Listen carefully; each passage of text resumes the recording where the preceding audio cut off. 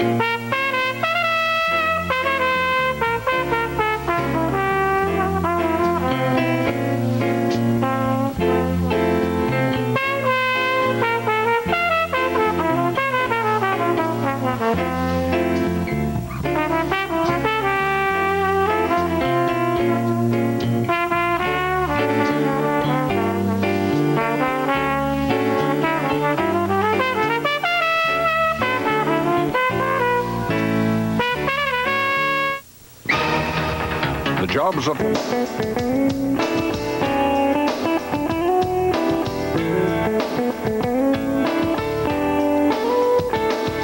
west. But now that cold air is on the move. It's worked its way across the Great Lakes and across the northeastern states. And this morning, we've got some record lows already coming in. Jackson, Michigan, down to 28 degrees. Muskegon, very chilly too, below the freezing mark. And even around JFK, a very nippy start to the day as the mercury has dropped down to 39 degrees. But with all this cold air rushing in across the northeast, I sincerely hope that you had a chance to protect your tender vegetation last night. If you have a vegetable or a flower garden, Boy, it was a really rough night for some folks, and if you didn't have the chance to go out and protect your plants, when you awoke this morning, you had a very unpleasant surprise because there's probably a good hard frost for some spots. Like, look at that, 38 degrees this morning for Rochester, down to 30 for Burlington, Vermont, 29 though for Albany. I was checking some observations up here around Saranac Lake, down to a mere 19 degrees a good long hard frost up in that area. Meanwhile, generally 30s to lower 40s around the Big Apple and southward down towards Washington, D.C. Another cold start to the day, too, throughout the upper Plains states. So if you're sending the kids off to school or if you're heading off to work this morning, you'll need the winter wearing apparel. It's down to the freezing mark for International Falls, 27 for Marquette. Chicago also very nippy with 37 degrees. And Des Moines, Iowa, waking up to about, we've got numerous frost and freeze advisories that have been posted through Saturday morning in very chilly 20s and 30s as the mercury really bottoms out throughout the northeast. One of the coldest spots I could find was upstate New York around Saranac Lake.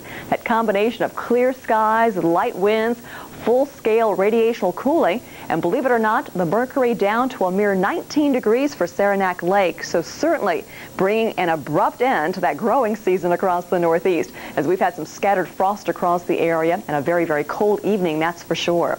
How about the wind chills? Well, when you factor in the winds, that makes it feel even worse.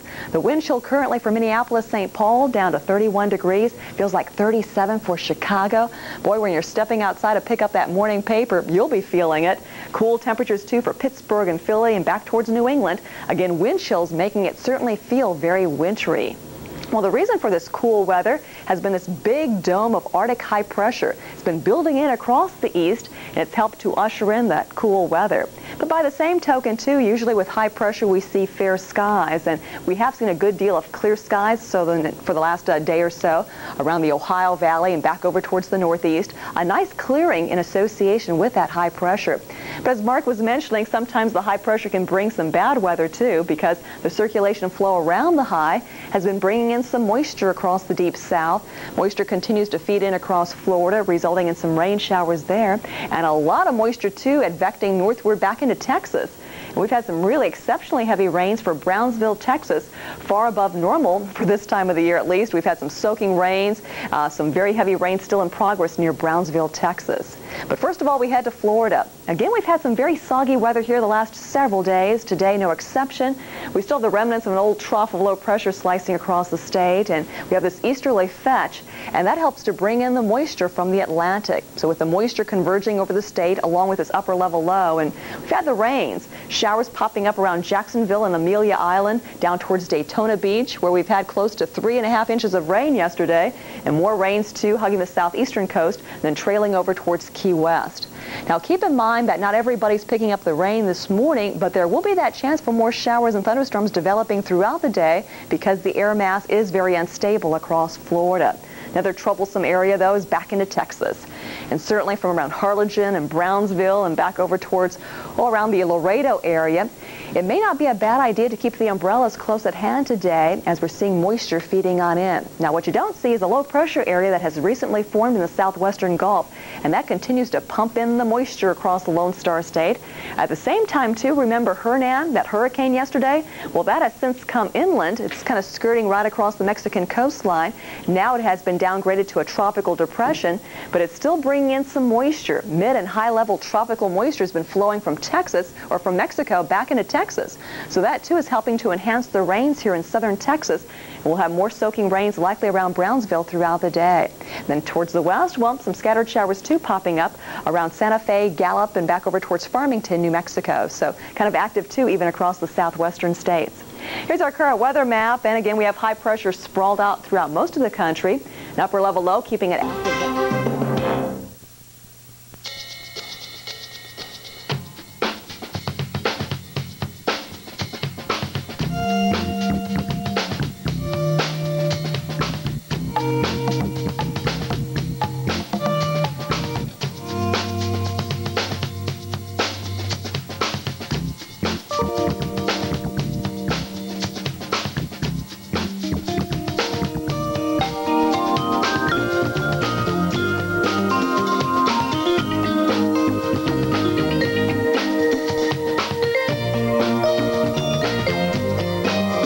Sunday in the northern plains and upper Midwest. Southwest remains hot for this time of the year with 100 degree or warmer conditions Saturday, Sunday, and Monday afternoon in the desert of Southern California and Southern Arizona. Precipitation again, very spotty on Saturday, mainly Gulf Coast and Florida. Sunday it expands slightly into the lower Mississippi Valley. A couple of showers in the upper Mississippi Valley too, along with wind.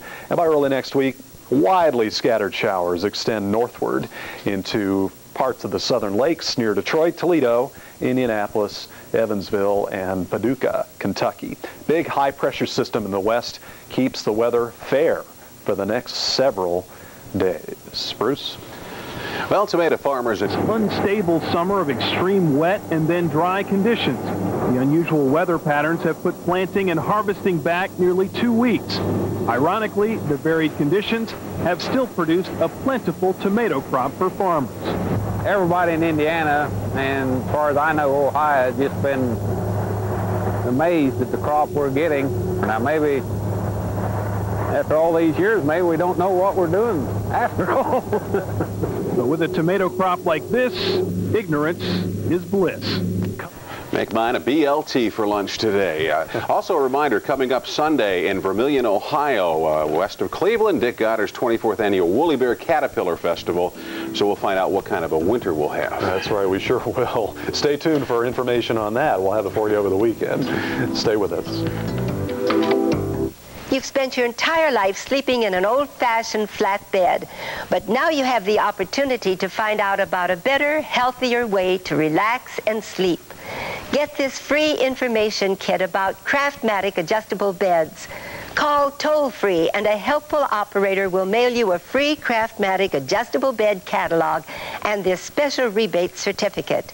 It's worth $200 off any Craftmatic Model 1 adjustable bed. Why is Craftmatic making this rebate offer? It's our way of saying thanks for taking the time to find out about Craftmatic.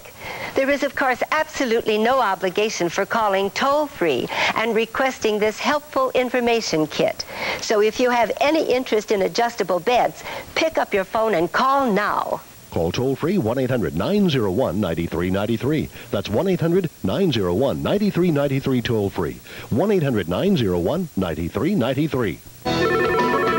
Good morning from the Weather Channel. Get a wake-up call plus your local forecast. Call 1-900-WEATHER and choose option 6. 95 cents a minute. Thank you for calling Sam Satellite City. I've got some questions about that direct satellite system that I just bought. Yes, ma'am. Why can't I get all my favorite channels like I used to get with cable? To receive all the same channel combinations which are currently available on your cable system, you'll probably have to subscribe to more than one programming supplier. Will that cost more than cable? It just might. You didn't tell me that. You didn't ask. And why can't I get my local stations anymore? To get local programming, you'll also need a regular antenna. A regular antenna. We have an excellent selection of regular antennas. Comcast, the best place for your TV. I want my cable. If you own a local business, you know that advertising decisions are not all black and white. In fact, effective advertising can come to life in a full range of colors and motion. For many local businesses, co-op advertising with Comcast cable advertising is the answer. If you own a business, manufacturer-supplied co-op funds can help pay for exciting, effective television commercials that show your business in action. Comcast cable advertising will help turn your black and white into...